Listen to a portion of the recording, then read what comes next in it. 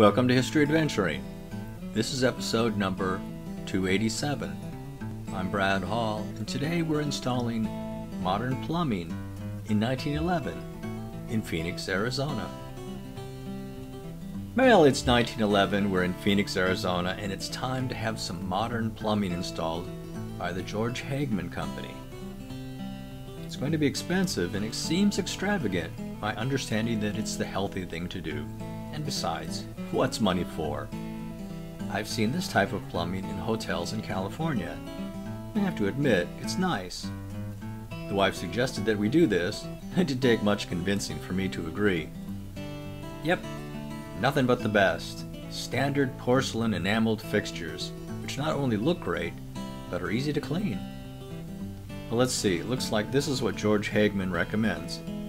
A bathtub with a nice decorative stripe, commode with a flush, just like the kind I saw on vacation, a sink with faucets, no more going out to the well and filling a jug for water for a basin in the bedroom, and I'm not sure what the other thing is.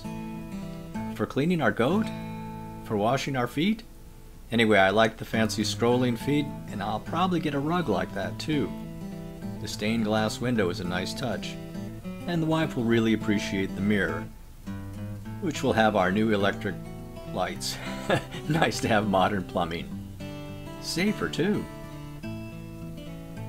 Well, let's go take a walk over to the corner of 2nd Avenue and Adams and go talk to George Hagman. This has been History Adventuring. I'll talk to you later.